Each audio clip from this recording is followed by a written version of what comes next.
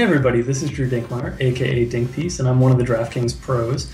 And today I'm here to talk to you about the importance of the cut line in PGA for daily fantasy players. So the cut line is established mostly on Fridays of golf tournaments, and it takes forward the top 70 players in ties after Friday's second round. Those players who don't qualify for the top 70 in ties, they leave the tournament while the other players move forward to play on Saturday and Sunday. And so the importance of getting players past the cut line is, is pretty obvious. You get two extra rounds, which are two extra rounds to accumulate points.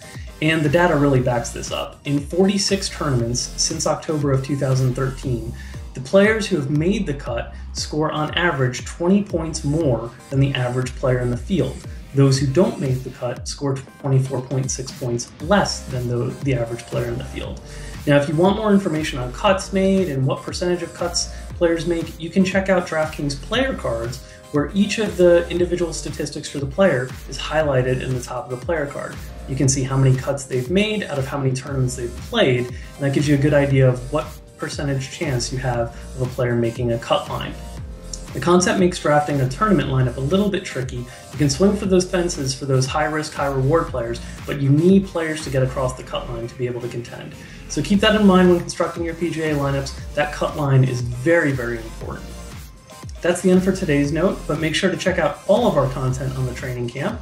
And make sure to check in every single day for new DFS content on the playbook.